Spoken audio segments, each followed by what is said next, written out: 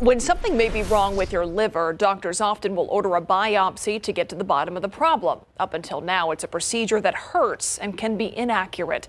But a new method is being called a game changer for patients. Stephanie Serna explains. Zachary Ross couldn't ignore some symptoms that were bad and getting worse.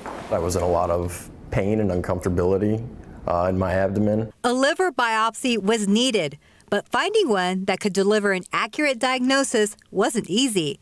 His first test took a sample from only one liver lobe.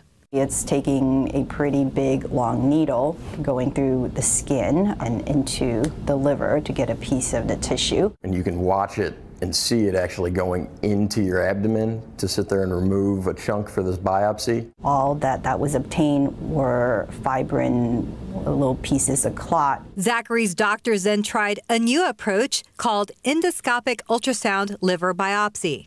So we can target a needle biopsy very nicely directly into the liver and thereby minimizing uh, potential risks of perforation or bleeding. Longer tissue samples are taken from both lobes of the liver, increasing the likelihood of an accurate diagnosis to 90%. We were able to find a cause for his liver disease and uh, help him avoid the toxins that were affecting his liver.